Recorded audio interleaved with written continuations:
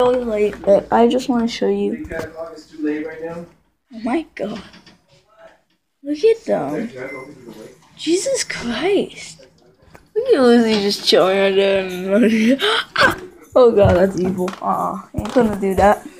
Hey guys, what the real deal? I want to show you my Solgaleo. So Solgaleo is called the um, Sunny Pokemon, and he's basically that. Hey bro. Hey bro. Yep. Pretty much. Anyway. Okay, um, we better hurry because I'm building Lycanroc. Yes, we're building Lycanroc.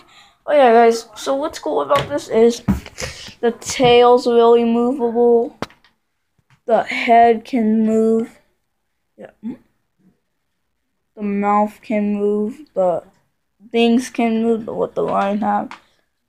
Uh, some people can sit on it. And plus, it's a decent size. Like. Look at this Pikachu. Like, you, you imagine that Pikachu would be bigger?